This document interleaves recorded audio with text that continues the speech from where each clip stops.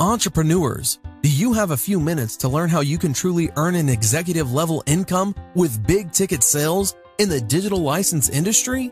We're talking about 90% commissions on license fees for software, videos, and ebooks in bundles of $250, $500, $1,000, and $2,000.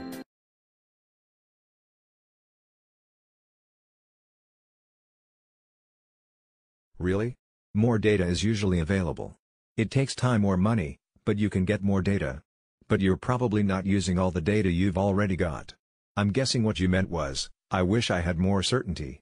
And that, unfortunately, isn't available.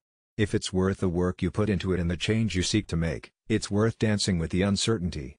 Reassurance isn't going to come from more data that's a stall. Forward motion is the best way to make things better.